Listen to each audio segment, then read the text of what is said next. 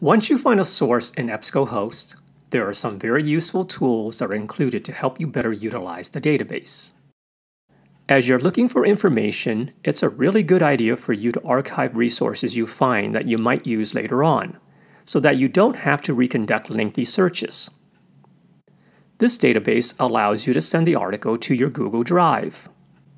To do so, click the Google Drive icon and sign on to your account. You will need to allow the database provider to access your account.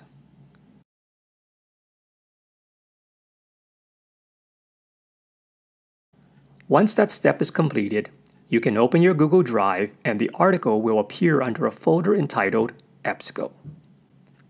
Open that folder and your source will be there. Printing is also available and can easily be done by clicking the print link. Some students find it easier to send the information to their email. That feature is also available. To email your source, click the email link and enter your email address. Choose your settings and click Send. The database generated citation feature is a lifesaver.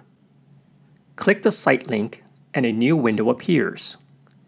This database provides several citation styles, including APA and MLA. If you are indeed using MLA, navigate to that citation and select it. Copy the selected citation using Ctrl-C on your PC keyboard. You can also right-click on your mouse to copy. Then navigate to your document and use Ctrl-V or right-click your mouse to paste. Note that these database-generated citations are not always accurate. Consult a librarian to ensure their accuracy. Some students like to download the article to their hard drive or USB drive.